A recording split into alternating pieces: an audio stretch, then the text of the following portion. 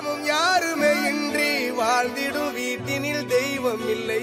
பாசங்கள் நேசங்கள் ஏதுமே இன்றி வாழ்ந்திடும் வாழ்க்கையோ வாழ்க்கையில்